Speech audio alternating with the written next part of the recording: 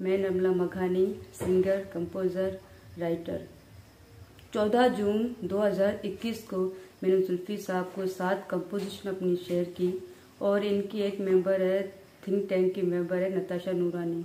उनको भी मैंने सात कंपोजिशन इनको सेंड की और जुल्फी साहब से मैंने रिक्वेस्ट की सर आप मुझे चांस दें। मेरे पास ओरिजिनल म्यूज़िक है, मैं आपके साथ शेयर करती हूँ।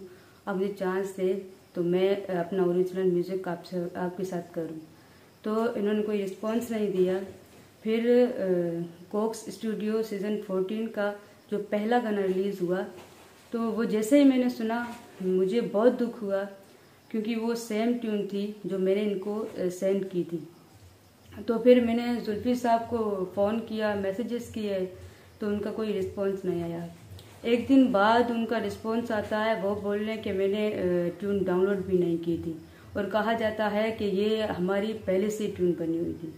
तो आ, मैं बस ये चाहती हूँ कि मुझे कोई पैसे नहीं चाहिए मुझे कोई लालच नहीं है इनसे। मैं बस ये चाहती हूँ कि ये मुझे क्रेडिट दे देते बाकी जो आ, मेरे भी फ़ोन लिए जाएँगे उनके भी फ़ोन लिए जाएँगे ये फ़ोन फॉरेंसिक होंगे। उसके बाद कौन झूठा है कौन सच्चा है ये सब पता चल जाएगा और ये अब फैसला करेंगे कोर्ट।